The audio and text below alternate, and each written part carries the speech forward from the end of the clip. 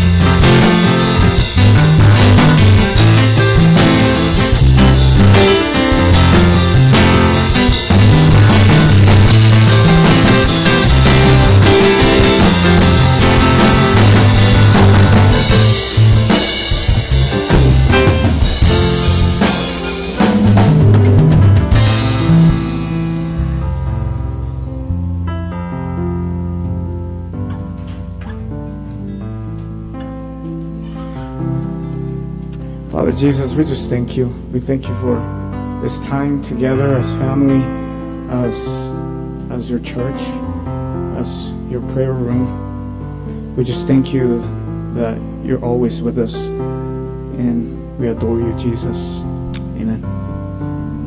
Amen. Well, thank you so much, Josh and team, for leading us in worship tonight.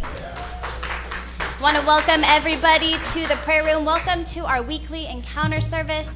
I'm Caslin. I'm going to talk about a couple of announcements and then we're going to get into the time of teaching. Tonight we are doing session three of uh, the series, The Beauty and the Darkness. Is this the final one? Is this a three part? Okay, so final one for that. We will have notes available for you guys. I'll pass the paper ones out as soon as I get done with the announcements. And then if you prefer your electronic device to access the notes, that's always an option. They are available on our website. Just go to theprayerroom.dfw.com, click on the resource tab, and then under recent teachings, you can find tonight's notes um, to access them on your phone. And then, as usual, just want to give the plug if you are not committed to a weekly prayer meeting around here, come and join a Sacred Trust. Find a two hour time block that works for your schedule um, and just make a commitment to be here in this room. Set aside some time for the Lord. It helps us tremendously uh, to build this place, to know that we're going to have people in this room hour after hour, day after day. You can talk to an usher um, or a section leader, either yellow vest or blue vest, to get some more information on uh, joining a weekly prayer meeting. And then we have some fun stuff happening here this um, coming week. So, Monday, Tuesday, and Wednesday of this week, we will have six House of Prayer directors here in the, um, the prayer room doing brad is the director of or he oversees a thing called the national missions base co-op. And so a couple times a year these directors meet together. They get to talk about leading a house of prayer. They get to strengthen one another, encourage one another, tell their stories of defeat, tell their stories of success, because all of that is just helpful when they are doing the same thing of directing a house of prayer, regardless of where it is in the nation. And so we have a couple people from California coming. We have uh, some from Florida, some from Houston, some from Jersey coming from across the nation to be here to um, have this time together. And so they're going to be at the prayer room Monday through Wednesday with Brad, mostly upstairs, just talking a bunch of leadership things. Um, and so just want to let you guys know that that's going on. And if you just think about it, pray for them because they have a really tough job. And, um, and so we just want this time for them to be really strengthening and vision casting for them and for them to bond together. There are new people um, that are directors that are joining for the first time with this uh, particular co-op meeting, and so we just want them to have you know quick bonding with the others that have been a part of it a little bit longer. And so just pray for them, pray for the Holy Spirit to encounter them and to for them to leave um, this week just feeling refreshed and feeling re-envisioned um, and fueled to do the thing that the Lord has called them to do. And then on those exact same days, Monday, uh, Monday, Tuesday, and Wednesday of this coming week, that um, it's the uh, global bridegroom fast. And so GBF is going on on those days. And so that's something that the prayer room partakes in. We fast along with others across the globe who are fasting, praying um, the prayer of, Come, Lord Jesus, come, longing for the day of his return and asking him to increase intimacy in our hearts with him, asking us to, to grow and tenderize in our love for him and our knowledge of him, for our hearts to come awake and alive um, in Christ and in his love. And so we are going to be fasting with that mindset Monday, Tuesday, and Wednesday of this week. And so we invite you join in, fast from food in some way, shape, or form. Um, pick what's good and right for you. Set yourself for for some success, and um, pray along with us as we are going to be doing that. The rapid fire topic uh, for those days will be for the global bridegroom fast and for the prayer room to encounter the Lord's Spirit during those three days. And then I wanted to talk with you guys about our School of Supernatural Ministry. A week from today is actually the final day of our first semester for our current round of students. And so they have been um, month after month uh, attending classes and growing. I'll tell you, um, Luke and I were actually talking last night because we both were able to teach well, not really teach. We did the outreaches with them this past Thursday and the Thursday before. And so just getting to see like boldness with these students and them um, just talking about like what the Holy Spirit's been doing and, and seeing them step out and, and grow. Like we were just talking like, man, they've grown a ton. And so it's just really exciting to see that. And so next week is their final class on Saturday. Um, and we are actually going to be um, doing a repeat of SSM semester one in the fall. And so it's going to be the exact same curriculum. Um, nothing's changing curriculum wise. We just want to do a repeat of it for anybody that was not able to do it this current semester to jump in this fall. And then what we're going to do is in the spring launch semester two, and anyone that was a part of semester one currently or doing it in the fall is going to be able to choose if they want to do semester two and continue on. And so, I wanted to let you guys know the dates for SSM is going to start on September 1st and last until December 22nd. There's a bunch more information about SSM on our website, so you can access that anytime. And then um, I want to have Caitlin Lutz come on up at this time because we have a new semester of Immerse, our internship, starting in a couple of weeks. And so, since Caitlin is over um, all of our schools, I'm going to have her talk a little bit about Immerse with y'all. Yeah, we're starting our internship this summer. Um, three weeks from tomorrow, uh, May 27th, we're going to be starting young adult internship um, part time is designed to fit a busy schedule, so it should be accessible for a lot of people. But what this is all about is taking a season to go deep in God, get established in a lifestyle of prayer, getting established in your identity. You can learn some tools of how to read the Bible, how to encounter God while you read the Bible. Um, so it's really designed to be very practical, very equipping, very relational, very hands on um, in, in terms of taking a season to really go deep in God and set yourself up for a lifestyle of going deep in God. So it's going to be uh, May 27th, and um, there's more information out in the lobby and on the website, um, theprayerroomdfw.com. Thanks so much, Caitlin. And then last thing that I want to talk about before I invite up Brad is I want to highlight one of the resources that we have available in our lobby. This one is called Friends of the Bridegroom. It um, just basically talks about what Jesus spoke of once he was going to leave, once he would die and um, be risen to heaven. He talked about how in, in those days that his people would long for his coming and they would fast and they would pray. And so he called those ones friends, that his friends were going to long for his return. And so this resource basically is just inviting us into that, that he is speaking about us, that we have that invitation to be friends of the bridegroom, to be friends of Jesus, to be ones who carry the message of friendship with Christ, of intimacy with him, of being able to know him as near and dear in our lives, as personal in our lives, to usher in his return because he is coming back. Um, it's a three part series. We have so many resources available in the lobby. So if this one sounds interesting to you, um, or if it doesn't, there are many other options that you can look at out in the lobby. Um, this one is $10 as are all of our three part series that are out there. So I just encourage you guys, browse that bookstore sometime, see if there's anything of interest to you guys. I'm going to pass out notes and invite up Brad at this time.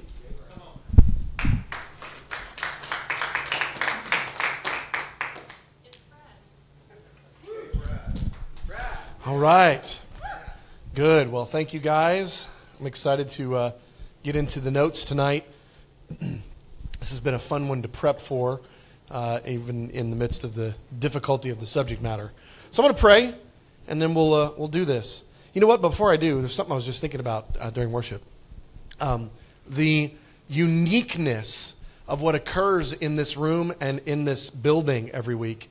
Um, our Saturday night encounter services are not a true picture of what is happening around here all week long. There are people that come from, you know, I've been saying 60 plus churches, it might be as many as 100 in a month. Uh, there are people that come from dozens and dozens of churches across our region, across our nation, to this building uh, every day, every week, every month in order to encounter the Lord people from all different denominational backgrounds to come and to worship Jesus. It is a sign and a wonder what occurs in this building. It is so unique that there are people from all those different backgrounds, all those different congregations that come not one time for a cool conference event, but that come like a steady stream through this room all month long, all year long. It is so powerful. What we get to do in this place. And uh, I was just thinking about that uh, during worship tonight, just what occurs in this room in the course of a month. And uh, I, I, just celebrate that. I'm just so excited. I kind of have those moments every now and then where I have a self revelation of what happens around here. You know, it's been happening all along, but there are moments where it like makes sense all of a sudden for, again, you know, like, oh my gosh, we, we do 18 hours a day of worship or, you know, oh my gosh, there's people that come here all month long, every month, every single month, every single year. It's just so wild that there's this steady stream coming through here constantly from the churches in our region and even across the nations of the earth. So I'm excited. That was just my little side note. I'm excited. So, Father, we ask you tonight that you would fuel our hearts, God, regarding the importance of going deep in the message of Jesus' beauty. Tonight, as we talk about the other side of it, we talk about the rise of darkness in the last generation. I pray that, God, it would be a provoking agent to those that are in this room, those that are watching online, and those that will hear this message down the road, that you would provoke our hearts about the importance of being plumb lined into the nature of Jesus, gazing on the beauty of the Lord, in order that we might have light within us to overcome the darkness in Jesus' name. Amen. All right, well, tonight is the Beauty and the Darkness session three entitled The Darkness That Blinds. now, what we've done more or less in this series, we did an introduction in session one. Session two was the fun one. It was all focused on Jesus' beauty shining forth into the final generation. And uh, it was a glorious subject of the revelation of Jesus, of, of his beauty, specifically that word beauty, not just the fact of Jesus, not even just the majesty or the bigness of Jesus, but the beauty of the Lord made a, a revelation in the earth in the final generation. And what we want to talk about in this final session is kind of uh, uh, bringing these two uh, realities together. We're going to contrast tonight the beauty from last week we're going to contrast it now tonight with the wickedness that's prophesied, uh, prophesied to rise in the final generation. And so, this title, The Darkness That Blinds, uh, you think about uh, being blinded by light. Well, there's a generation, it's the one that we're living in, and, and that's going to uh, devolve into every form of evil practice. This generation is going to be blinded by darkness. And so, we're going to talk a little bit about that this uh, first idea of uh, Jesus uh, being the, the beautiful God in the final generation, and at the same time, in the exact same uh, uh, generation, in the same hours of history, that the brilliance and beauty of Jesus will be made the brightest, those same hours, the darkness and the wickedness will be made the darkest. It's such an interesting contrast the darkest dark and the lightest light happening at the same time. And where we identify Jesus as uh, giving us this invitation into beauty, into relationship, into the light, and into truth. Tonight, we're going to be looking at the contra of that, and that is the attitudes of the rebellious and the wickedness that will be inviting and will be alluring the people of God and the lost generation into increased levels of wickedness and depravity. We want to obviously be part of the shining forth of brightness in this last generation, but uh, it's, uh, it's going to be a dark, dark time. So there will likewise, the, the generation will likewise perceive Jesus through the dark lens, and so his beauty will be missed and even distorted. Now, what I want to say by that is that in this last generation, it's like the Lord is going to give everybody 100% of what they really want. Do you want the Lord? You can have as much of Him as you want.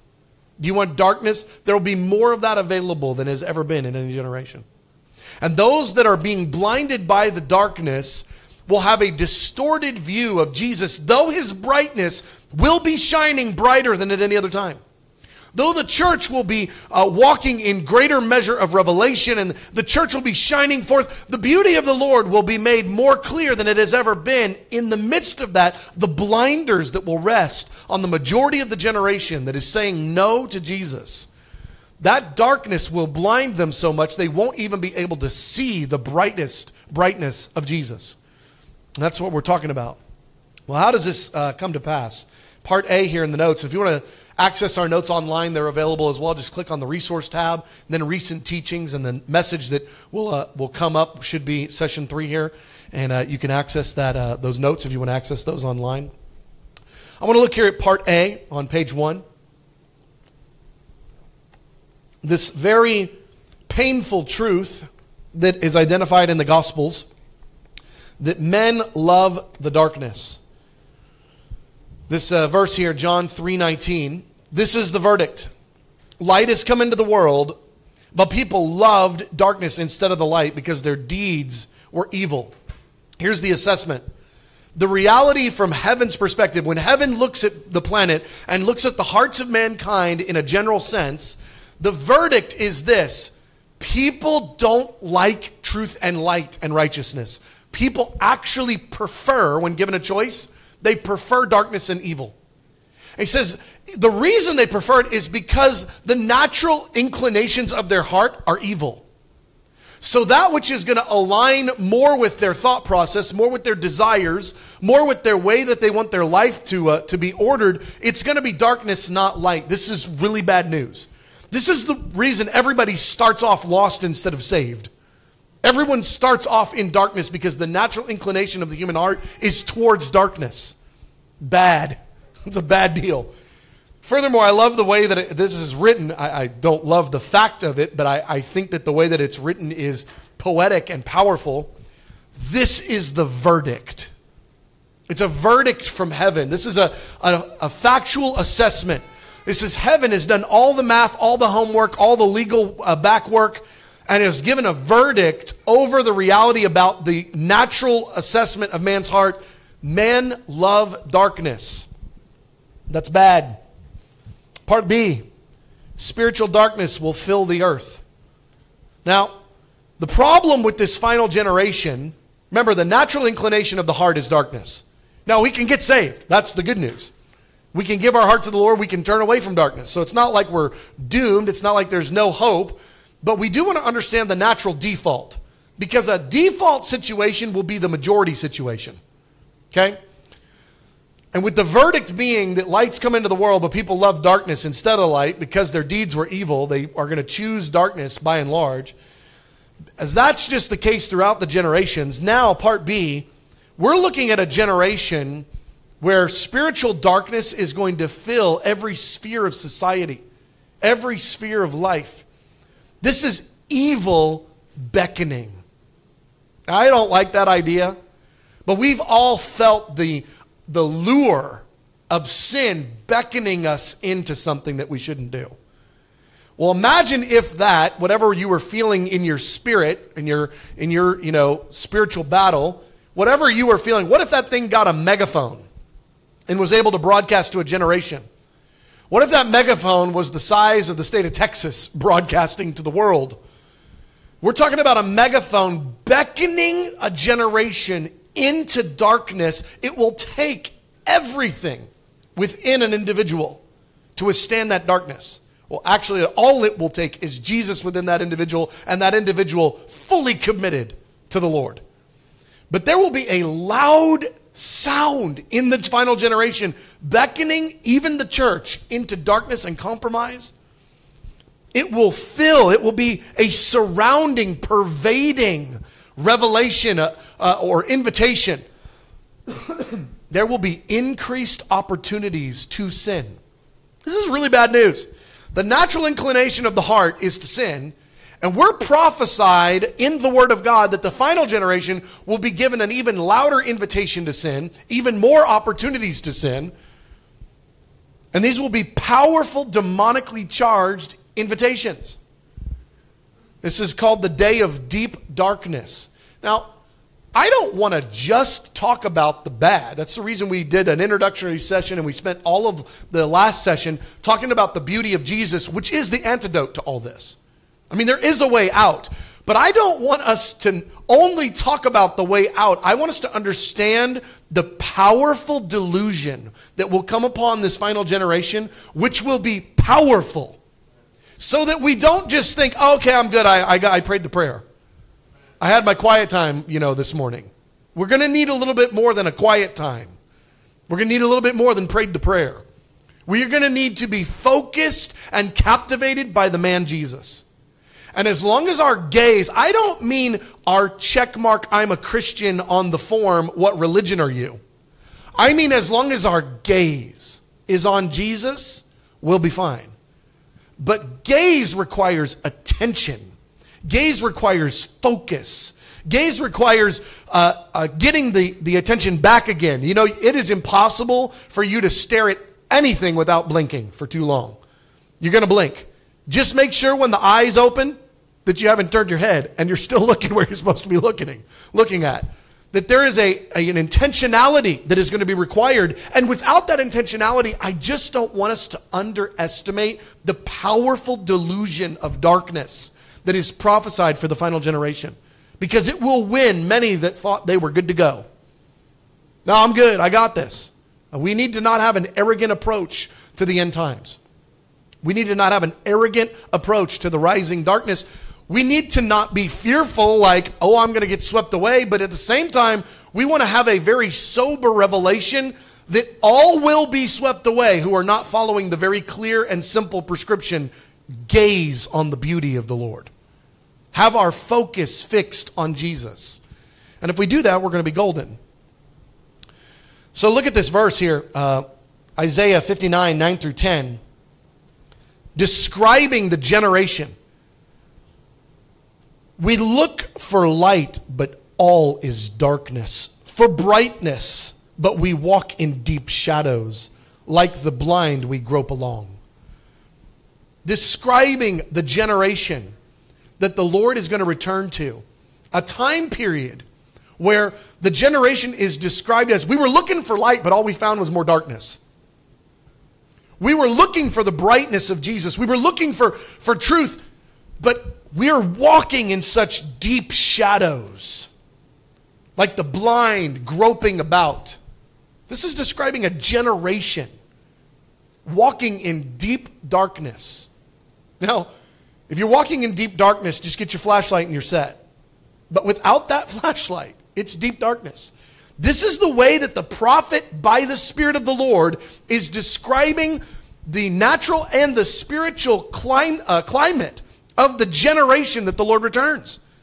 This deep darkness, this generation that's described as walking in deep shadows, as all darkness. I just don't want us to dismiss passages like this and just go, neat poetic language. I want our hearts to be struck by this and recognize the light must be at its brightest when the generation is prophesied to be the darkest. It is essential that we understand this point. So I know tonight sounds a little bit like a killjoy after, after coming off of session two, talking about the beauty of Jesus, but we need to recognize the, the, the contrast. It's important. Or otherwise, the antidote doesn't make as much sense. Nobody takes the cure, you know, to the plague if you don't realize you have the plague. You got to recognize the reality in order to fully then embrace what it is that the Lord wants to do looking for light, but all is darkness. It's important that we catch this. All right, well, part C is some hope here. It's hope, but there is the caveat that we have a responsibility to respond. I always uh, use the analogy of someone warning me that I'm about to get hit by a bus. I'm standing just a little too far out into the intersection. I was looking up. Imagine you're, you know, you're at Times Square for the first time and you're looking up and you're seeing all the signs and stuff, and you happen to be standing in a, in a lane, and you're just standing there, and someone yells, Bus, get out of the way. You still have a choice to either move or get mowed over by the bus. You have a choice to respond to the warning. Well, the good news is that we will only participate in the darkness that blinds according to the measure that we've decided to participate in it. It will be a decision. It's not like you're just going to be blinded just because you're blinded. Darkness blinds and keeps us from the revelation of Jesus, but that blinding only comes by our decisions. I said it this way the good news related to this, I will call it a very uneasy point. Okay? The, uh, the good news related to this is that we will only be led astray by darkness that we choose. Chosen darkness. Well, who would choose darkness? Well, I hope no one, but the Word of God says a whole generation is going to actually do it. So let us not be counted among those that choose the darkness. We choose either by our decision to walk in dark ways, or embrace dark ideas, or accept darkness in our lives that we could easily dispel but choose to hang on to instead. It's a choice. Whatever the case, the beckoning from the Holy Spirit is that we would come up out of darkness. We would come out of darkness. It's a choice, it's a decision. We have the option to either tolerate the darkness in our life or to come at it head on. We have the choice to either embrace dark thinking, dark ideas, or to dispel those ideas. You have power over your mind. So you can take your thoughts captive, make them obedient to Christ. You can. Or you can choose not to and allow that darkness to seep in and have place. Darkness in our decisions, darkness all around us, we have a choice. And the admonition all the way through, but especially so in the last generation, it's Revelation 18:4, the Holy Spirit, the Father, the Son, all of the angels, all the witness of heaven, everybody upstairs saying, "Come out of her, my people." So that you will not share in her sins so that you will not receive any of her plagues. You know, there are some that uh, wonder if the end time judgments are going to impact the church, are going to impact those that love the Lord. Well, this passage makes it really clear who will be impacted by those plagues. Those plagues will, in fact, impact those that have not come out of the sin of the plans and, and of the agenda of the Antichrist in that last generation. so if we come out and it says, You will not receive any of her plagues. But there are plagues in the book of Revelation that are designed, I mean, they are specifically calculated design by God in order to judge sin and wickedness in the final generation. So long as we come out of those things, we're good to go. So you don't need to worry about being here or not being here. You need to worry about living in the light or living in darkness. We do not need to have an escapist thought process about the end times. Instead, the only thing we need to escape is darkness. You don't need to be afraid of God, you need to be afraid of sin. God is good, sin is bad. Avoid sin, you'll be set. God knows how to do this, I promise. Part D. Once darkness, uh, once we are in darkness, this is both a natural reality and a, a, a, spiritual reality, so kind of put the two together here. Once in darkness, our eyes adjust to the lack of light. And after a while, we no longer seek the light because we've become comfortable in the darkness. And actually, bright light seems quite undesirable. Once your eyes have adjusted, you do not want somebody to turn on the bright light.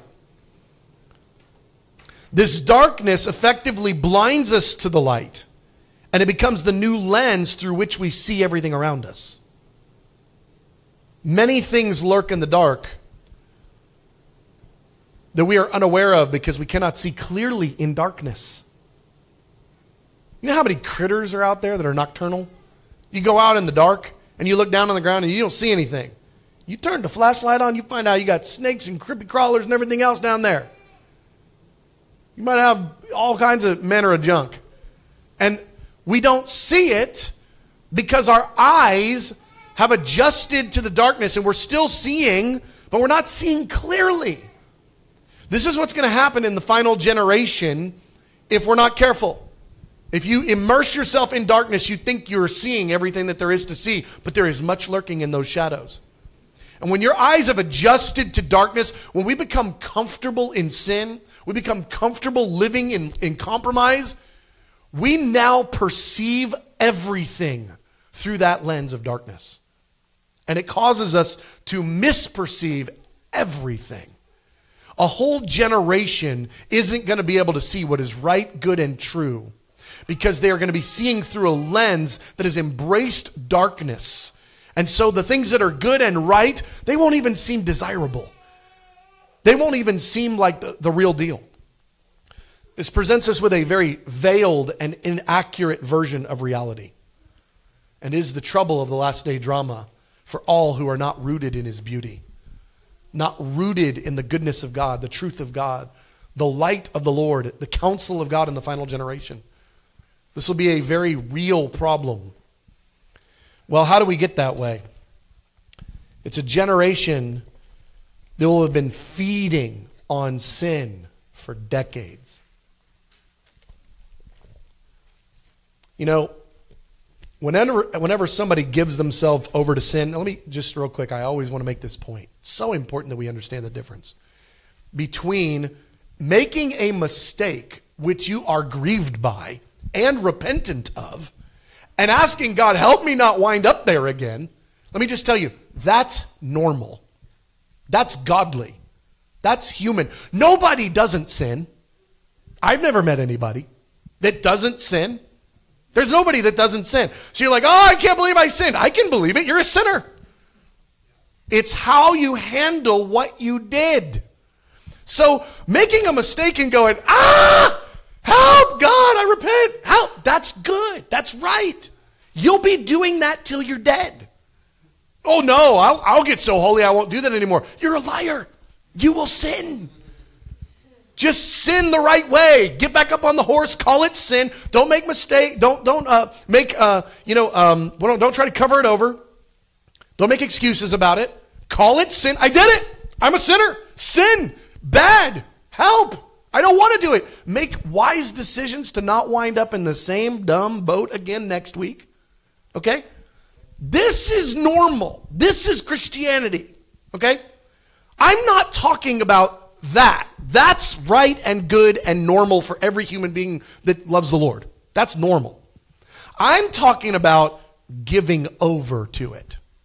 Here's what giving over looks like I did it, I like it, and I'm doing it again tomorrow. Very different perspective. Very different.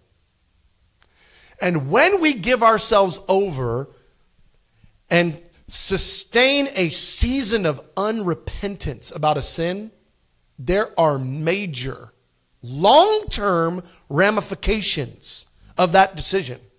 Major ones, in addition to the short term ramifications.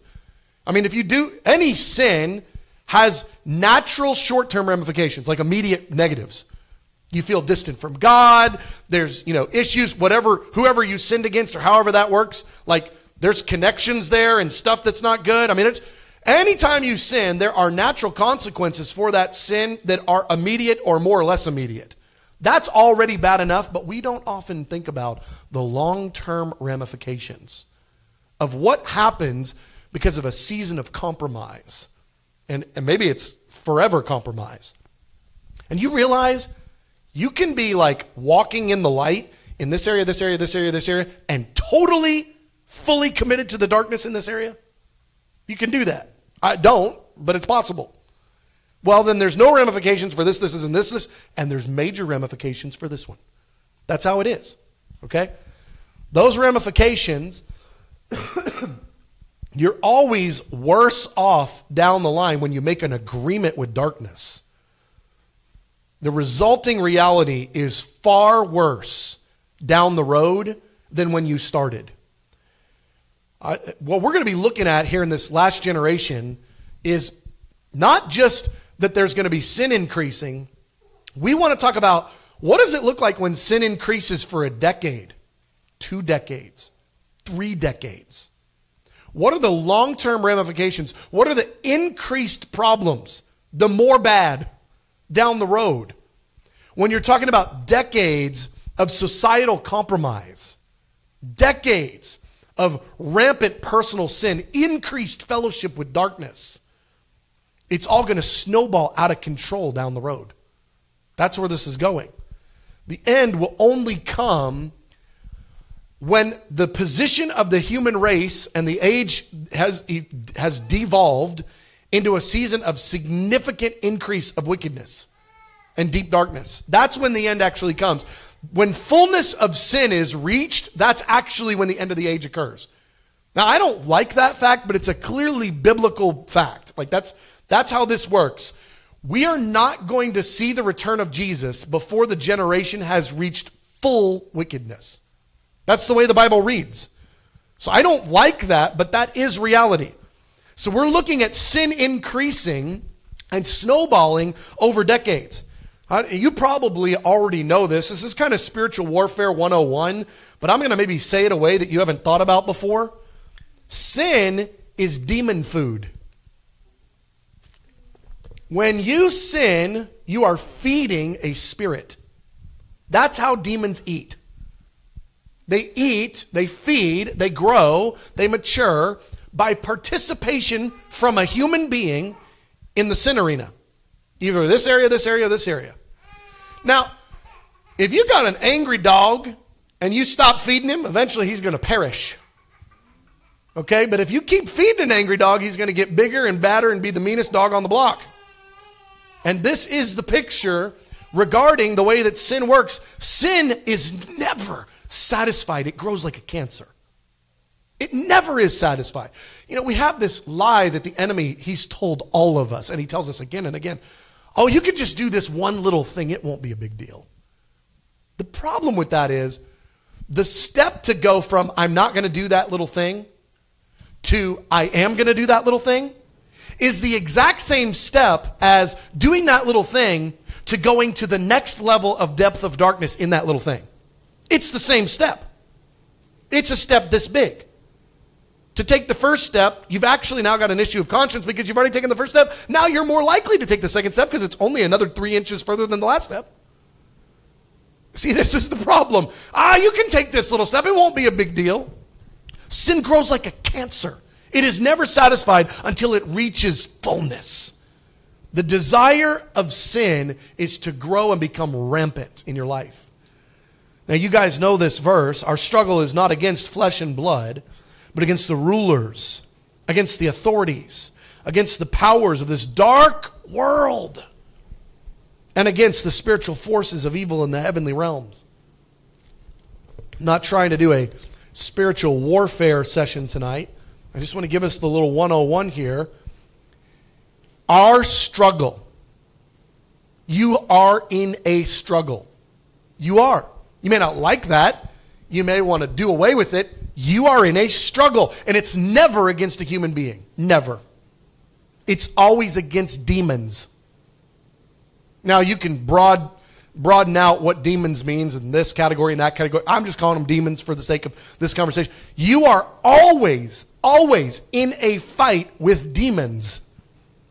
And if you don't think you are, you will fight the wrong fight. You'll be fighting that person like they're really the bad guy. They're not the bad guy. The demon that made them say that thing is the bad guy.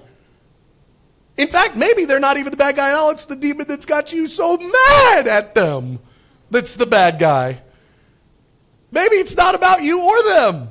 It's our struggle is against demonic forces. It's a real struggle. So, you can either feed those demons or starve them. The problem is, we're talking about decades of strong men being fed from every angle societal, individual, demonic, witchcraft, every sort of sin imaginable being fed. I don't mean fed a little bit off the, the, the, scraps off the side of the table. I mean a steak was cooked in order to feed that thing. We're talking about high level feeding here for a generation, decades, feeding demonic entities, demonic presence. That's really bad. And that's the generation we're walking into. That's what's happening right now and is only going to continue to increase. You can't, there's a thousand categories that you just can't imagine that we're going to be able to just get by with what has been happening at a societal level in areas of injustice and murder and everything else that demons are being fed because we are in a struggle. And so when those forces are actually fed and appeased, they grow and they strengthen. And what the strengthening means is increased measure of influence, increased level of difficulty to say no next time. It's the next point. Losing all sense of morality, a generation. See, I'm talking about a I'm talking about the whole planet, not five people or you. I'm talking about a planet called planet Earth, the inhabitable one in our solar system. That planet losing its mind. Okay? And losing all sense of morality because the longer a person is unrepentant in sin, the harder it is for them to get out of it. It's not impossible, but it's harder, and then harder, and then harder. That's, that's a problem. Second, the harder it is to change their behavior, even to recognize the evilness of the activity. The longer you're in it, the more excusable it becomes, the less dark it becomes. The heart becomes callous. What was previously a grievous thing, oh, I just, ah, becomes permissible, becomes enjoyable, becomes promotable. The longer unrepentant sin goes on, the more we lose our sense of morality about the issue. And when we start losing our sense of morality in one area, it's easier to lose it in another and another and another. What about a generation that is set out to lose its morality? What about a generation that's celebrating it? Saying, we cannot wait to be the most immoral group of people that has ever lived. They will have as much of what they want as they want. We're talking about a generation that's headed that direction. Bad news.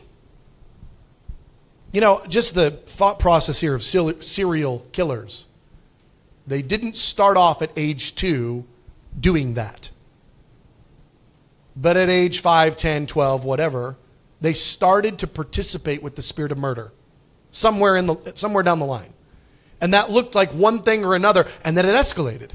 And it escalated. And it escalated. That's how a serial killer is born the escalation, the snowballing of sin. There are all sorts of psychology, this and all that. All that's true too, I'm sure. But when you get to the root of it, it's a sin issue. Somebody participated with the spirit of murder and went a step further, a step further, a step further, and now they're in total chaos. And they're, most of them, when you talk to them, they don't even see anything wrong with what they've been doing. They celebrate it. How did they get there? They've lost all sense of morality, and it started with the first time they fellowshipped and participated with the spirit of murder. And then it went again and again and again. That's how this works. I just want us to understand the process here. We're talking about a generation for decades that will be aggressively agreeing with darkness. What happens five years, 10 years, 20 years, 30 years, 50 years? We're already seeing some of the major snowball points in our society right now that were decisions that were made in the 60s, 70s, 80s, and 90s. We're already seeing the snowball. It's only going to increase. A generation feeding on sin for decades. All right, part C. Well, actually, no, I want to give you that point there I've got at the bottom of the page. Part B. This uh, is going to rise to the climax where, think about this for a second. We're not doing a study right now on the Antichrist, but just your short little, you know, reminder here. There's an Antichrist. He's a real human being. He's really going to come on the scene and it's going to be really bad. That's what you need for the background. Here's what you need for the context that we're talking about here. The planet, the one you live on, is going to vote this guy into office and celebrate his decisions the planet you live on, the generation you're in, devolving to a point where six billion people think this is a good idea. We want that guy in charge. And actually do that guy's agenda. And if it's not six billion, it's five billion. Whatever. A generation. That's crazy. Woe to the obstinate children, declares the Lord, those who carry out plans that are not mine forming an alliance, but not by my spirit, heaping sin upon sin, It's talking about the final alliance that's made with the Antichrist, and his government is defined as sin upon sin upon sin upon sin upon sin. That's the way that his leadership is defined, and the entire generation walking that direction, going where the Spirit of the Lord has not led. We're talking about a generation that reaches the climax of sin and depravity, not in a moment, but in an escalation that occurs over decades. I believe we're in those decades now. I fully believe we are in those decades. A decade in, maybe two, I don't know. But we are in the decades where these where this is all real right now and it is only escalating. I don't know how many decades we've got left, but for the sake of how big and bad wickedness could get, I hope we don't have many. Because this is going to get real bad. Part C, top of page uh, 3. I gave you a couple of lists. There are probably five more. But I give you a couple of lists where the scripture lists off end time sins. So, not just sin, but end time sin, where the passage clearly makes it known this is an end time passage dealing with the major trends of the final generation, the major way that the generation will relate to each other, relate to God, relate to Satan, the major ways that the, that the people will, will interact. And I gave you a couple of verses here that define some really, really bad things that are sin reaching its maturity and the process that gets us there. When a generation embraces these things, just reading the Revelation 9 verse, Revelation 9 is focused more on the lost world. And 2 Timothy 3 is focused more on the church. I think I'm more scared by the 2 Timothy verses. But the Revelation 9 says, the rest of mankind that weren't killed by the plagues that came before this moment that are described here. So 100% of the generation of the lost did not repent of the works of their hands.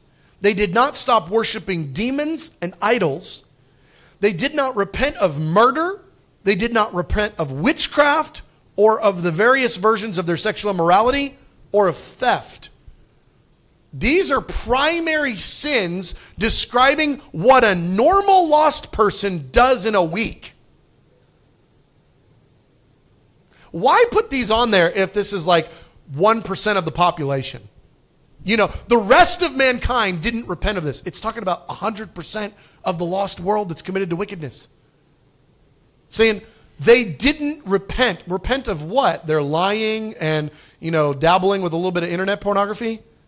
No. They didn't repent of murder and witchcraft and demon worship. This is the stuff they didn't repent of. Well, in order to not repent of it means they did it. More than that, if they're not repenting of it, it means it's a lifestyle choice they've chose to camp out in. They're going to do it again next week. This is what the last generation is going to be walking in. This is a time of deep, deep darkness. It is so important that the church be walking in the brightness of the light, not dabbling in the compromise. That we have light to shine, that there be a true contrast between the light and the darkness in that hour. Love growing cold. You guys have heard me talk about this before, but in the subject of decades of sin being fed upon, The issue for the generation, lost or saved, will be about growth. Growing. Growing towards the Lord or away. Lost or saved. Growth. And the idea that's presented here about Christians being able to grow cold. To grow cold. Not start cold, grow cold. Hot, a little less hot, kind of warm, lukewarm, touching on cold, kind of cold, ice cold. Grow, one way or the other. Because of the increase of wickedness, the love of most will grow cold, but the one who stands firm to the end will be saved. A generation for decades growing in coldness. Lost and saved, growing in coldness. Coldness towards the Lord, coldness towards truth, coldness towards reality. Many false things will be presented that are not real, but a coldness towards reality that will then make unreality seem a lot more reasonable. Growing cold, the love of most growing cold. The antidote is stand firm to the end. Stand firm to the end. You know, that standing firm is going to take effort. You'll not stand fir- firm just because you stood firm yesterday. You're going to have to take pains to make sure your standing is still standing today. Stand firm to the end. It's a warning out of the mouth of Jesus to the last generation. The wickedness will increase so much, it will cause the love of most human beings to grow cold. Stand firm, and you'll be okay. But if you don't stand firm, you're going to be in trouble. That's the objective. That's the, uh, the, the point. A generation that's fully committed to their iniquity.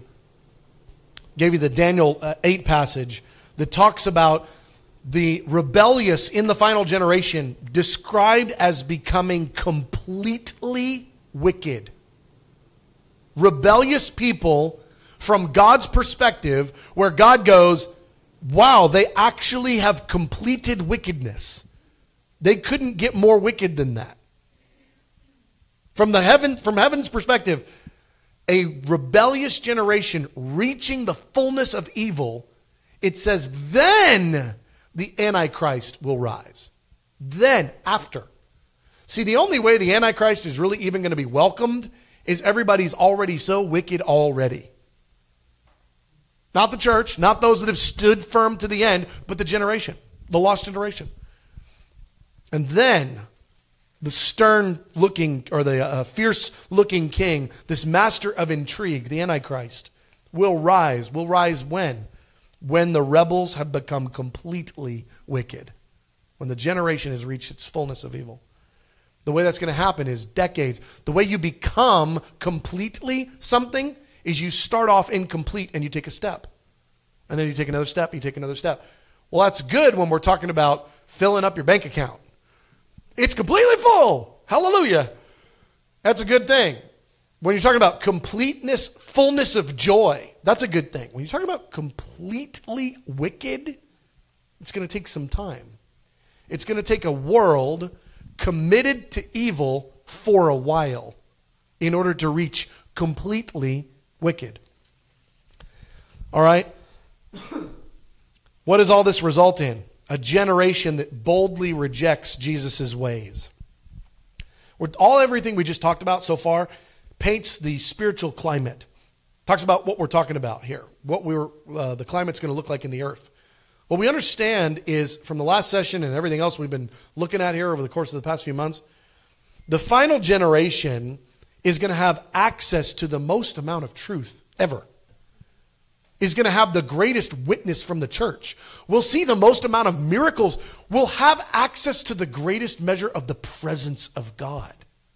At the same time, there will be the greatest measure of wickedness, the greatest measure of the pursuit of evil, the greatest measure of all the darkness that we've just been talking about. They're both rising together. This generation will also be filled with hate perversion, and every evil practice in greater measure than all the other generations previous.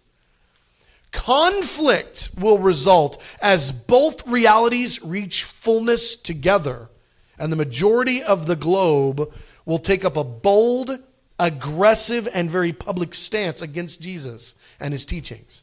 That will be the, the uh, climax of the conflict. The majority of the earth will say, We don't like God. They'll see Jesus' ways as a prison. I gave you the Psalm 2, talking about the kings of the earth in the final generation.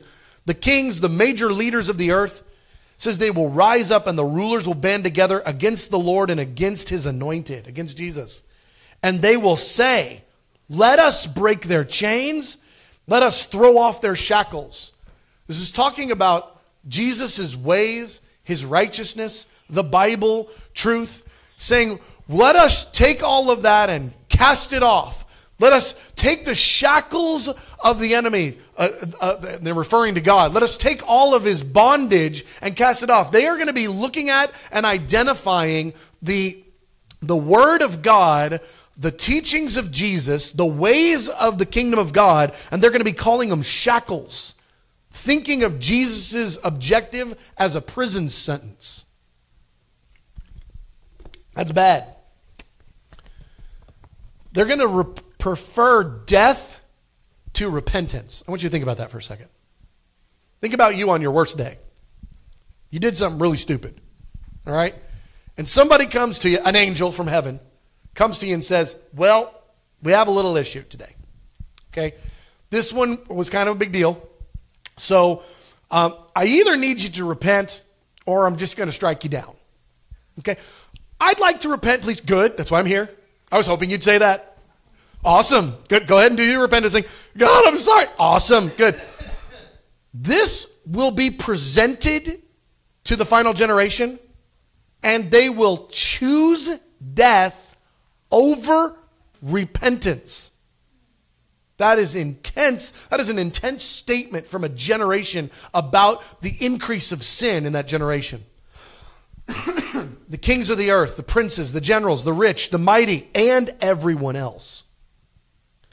Called to the mountains and to the rocks, fall on us. When giant rocks and mountains fall on you, you die. Okay?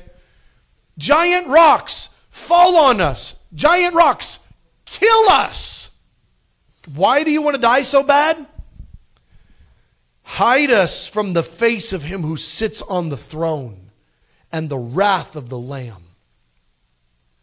You know, you could just repent. We, everything be cool.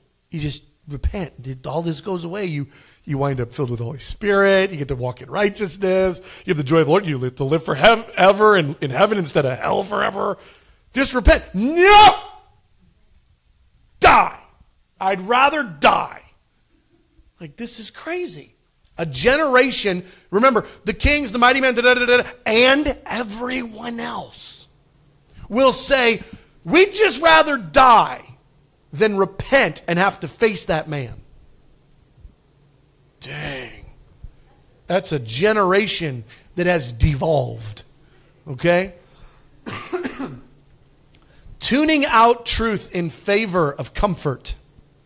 This verse in 2 Timothy 4 3. Long before the generation reaches the climax, there's these decades where it starts and then it grows and then it grows and then it grows.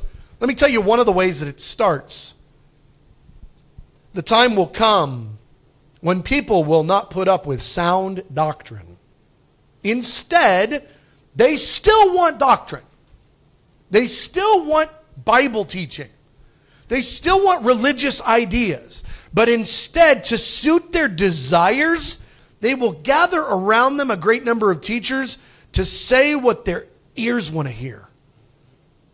So, what this looks like is they're actually voting in teachers and surrounding themselves with leaders. Like, we don't want that leader. Why? He talks too much Bible, the, all the hard Bible stuff. We don't want him. We want this guy. Why do you want this guy? This guy says I can sleep with whoever I want.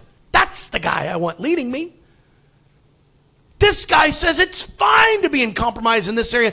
This guy says sin is kind of like irrelevant. That's who I want to be my leader. I want to surround myself with teachers. They're going to tell me what my itching ears want to hear that will allow me to be comfortable in my sin, tuning out truth in favor of what is comfortable. I just tell you, all of us have a little of this in us.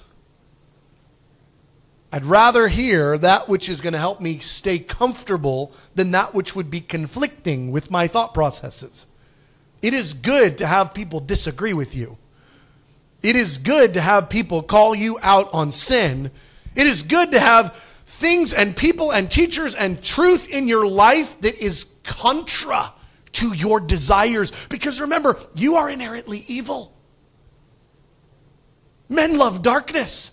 There is nothing good in you. Spare Christ. But you still have a sin nature that is alive today and wants stuff. It is good to be told the truth and to have people that differ in opinion from you in order that you might have to listen to it and process it with the Lord and allow the Lord to kick you around a little and go, nah, don't do, just listen to your friend. They're right. That thing you want to do, that's crazy. You'll wind up, you, oh, remember that message Brad preached on? You'll wind up one of those guys. It's good. It's important. There's a generation that will become notorious for identifying evil things as right things. That which we know is evil, that which the word says is evil, that which just basic human understanding would identify as evil, a generation becoming notorious as looking at that and identifying it as good. Celebrate this. I heard the most vile thing I think I have ever heard this past week.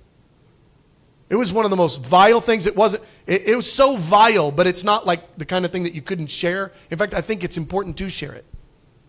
There was some thing. I was walking through a restaurant, and somebody was doing a. There was a, a comedian that was like doing a, a roast for the president, and was was telling all these jokes and was doing all this stuff, and they got to this. Uh, this lady got to a point where she said something about, I don't want to impeach President Trump because then we'd wind up with Mike Pence.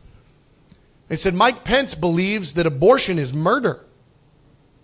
And then went on to tell some of the vilest jokes I have ever heard in my life about abortion, and people were laughing. It was the most vile things I've ever heard. And and here it is, it's being celebrated. Here, Here's this comedian given the, the platform for the roast for the president. I mean, this is, I couldn't believe what my ears were hearing.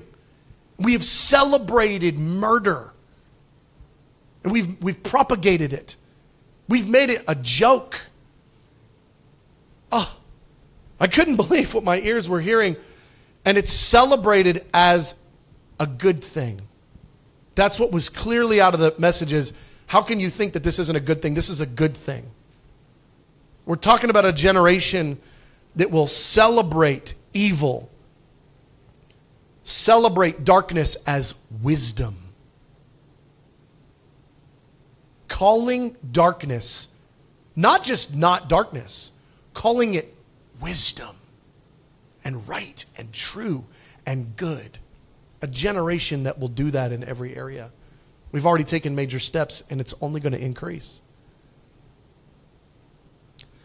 The mirror of natural darkness. I just find this one interesting. Best way I can describe it.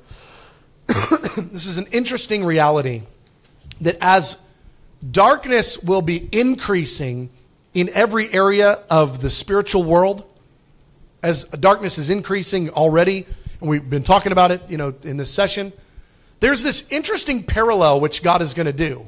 It's so interesting that while darkness will increase in the spiritual realm, God is going to release darkness in the natural realm in the most profound, unprecedented ways that have ever occurred in human history.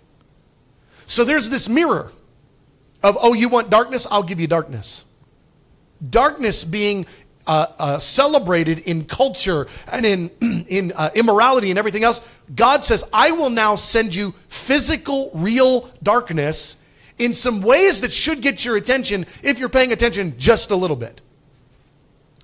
The first, the day of the Lord is defined as a day of darkness, distress, anguish, a day of darkness and gloom, a day of blackness a day of deep darkness. This is the way that the Lord himself describes the day of the Lord. Well, part of that actually has to do with the physical clouds. Even the sun will be darkened by clouds. Why write that if it's just talking about a normal storm? Why even write it in the Bible? You know, there's a normal storm and it's kind of dark outside because the clouds are so thick. And then, you know, two hours later, the storm's gone. It's not like Bible worthy. Like, don't put that in and call it a verse. I mean, that's just a Tuesday in the spring. You know, that's just kind of how it is. Okay? This is talking about the sun being darkened by clouds in a way that was worth writing into the Bible. I will rescue them from all the places where they were scattered on the day of clouds and darkness.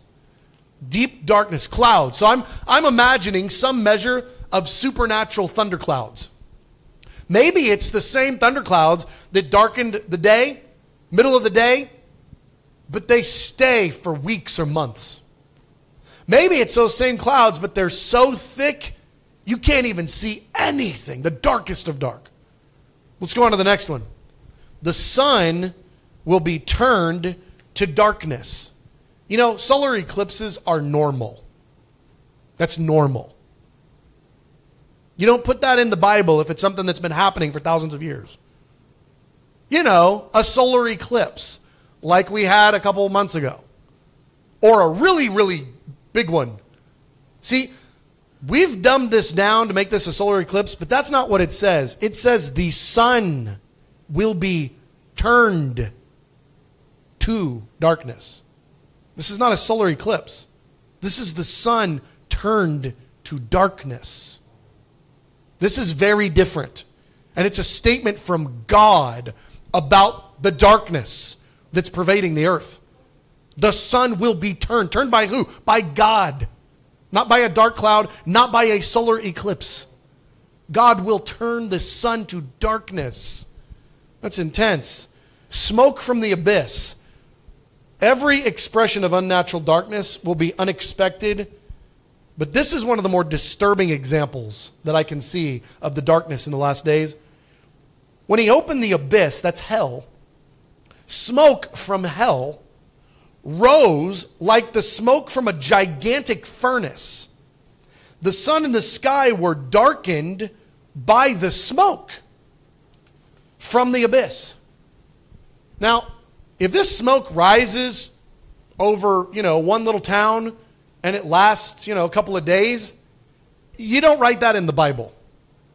This is talking about for the first time that we have record of hell which is described as a place of everlasting burning, for the first time ever, we're told hell opens up, hot air rises, the smoke in hell comes out. How much smoke is that? A lot. It darkens the sun. This isn't like for 15 minutes. This is the sun being darkened by hell smoke. Darkened. So now, whatever shadow that casts, whatever amount of, you know, area that covers over in the Middle East or wherever, I, that's going to take up a lot. It's going to be bad. It's going to be real darkness. The next one. This is the perhaps the most peculiar. This is the most mysterious. I'll say it that, that way. One of the chosen end time plagues that God has stored up for the wicked of the final generation is the fifth bowl of wrath. I just want to say this again. It is a specific plague that God has identified a long, long, long time ago that's in your Bible that is going to happen. So this isn't it just happens. This isn't one of the things that are going to happen in the end times. This is a specific calculated event that God has invented. Okay? What's mysterious about it is that we're talking about a judgment being poured out on the kingdom of the Antichrist, and this darkness pours out like a liquid. So that's mysterious. But instead of it filling 100% of the earth, it doesn't. It flows to and only fills spaces identified as being part of the kingdom of the beast, which we know there will be lots of places, not a majority, but places all over that will not be part of the kingdom of the beast. This pours out like a liquid, but it's a liquid that's selective. And it only goes where the kingdom of, of the Antichrist, the kingdom of the beast, has its root system. This is a very interesting pouring out, this very interesting bowl. And here's what it does everywhere it shows up, everywhere it, it lands or it touches, wherever it pours out, it says it plunges that area into darkness. Plunges. Think about somebody being violently baptized. They are plunged into the water. They are submersed. There's a splash. There's a gasping for air, okay?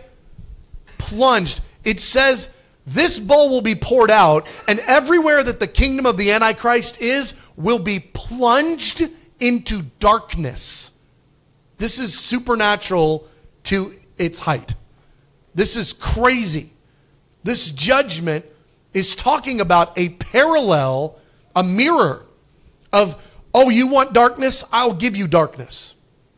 You thought there were going to be no consequences for this evolution of darkness, that you've been on a multi decade journey hitting fullness. You thought there would be no response from heaven. The fifth bowl of wrath will plunge into darkness 100% of the earth that is committed to the Antichrist and is in agreement with his kingdom. Plunge into darkness. We know from the book of uh, Exodus that this plague was done once before in a similar way during the Exodus, during them coming out of Egypt. And it says it was darkness that could be felt.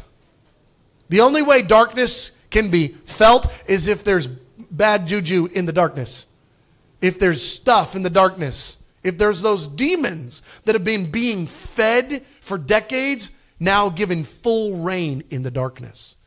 Manifestation as the kingdom of, the, of darkness is plunged into darkness the kingdom of the beast, rather. Pretty intense. Worship team, you can come on up. I'm going to finish up here. A generation enraged over his righteous judgments.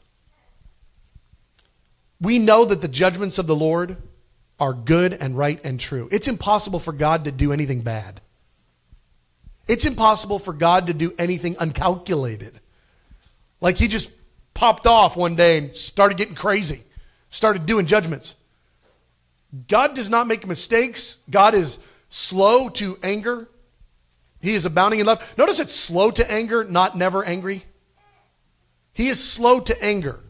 Slow, slow, patient, patient. But patience and slowness does eventually have a moment. He will be full in wrath. The bowls are the bowls of the fullness of God's wrath being poured out. When God releases his judgments, it's a good thing. His judgments are not bad, his judgments are good.